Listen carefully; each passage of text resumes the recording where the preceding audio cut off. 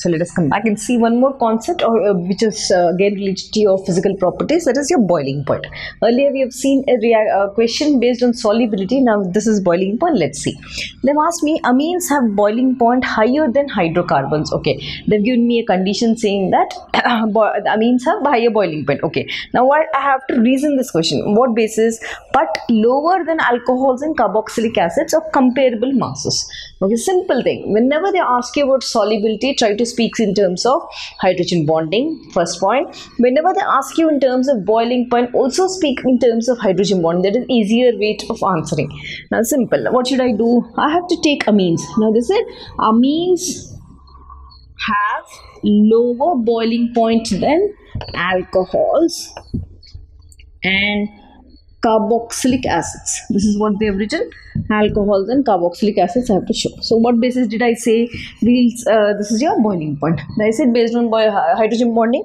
Now means what is happening whenever I have to see or uh, show this hydrogen bonding. Hydrogen bonding is formed between hydrogen and nitrogen of your amines. This is what is your uh, amines isn't it so what is this? Hydrogen and nitrogen. So hydrogen and nitrogen.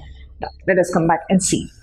Here when i have to see uh, in case of uh, uh, alcohols or carboxylic acids. Okay let us see alcohols. Oxygen hydrogen. Now this is your water. This is going to form a hydrogen bonding between alcohol. So your alcoholic group as we said this is alcohol roh isn't it? Now h faces oxygen. Your uh, mm, this one if i have to take this o right and r. Now what is happening here? Hydrogen bonding is between uh, oxygen and hydrogen. So no? So what are we observing? We are observing that your hydrogen bonding here is between nitrogen and hydrogen. Your hydrogen even uh, carboxylic acid also same no? Yes. So here the hydrogen bonding is between nitrogen and uh, uh, hydrogen here oxygen and hydrogen. Now which is more electronegative? Nitrogen is less electronegative than oxygen. Less electronegative than oxygen.